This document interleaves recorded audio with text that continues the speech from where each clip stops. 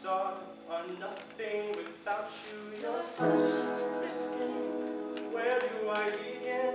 No words can explain the way I'm missing you.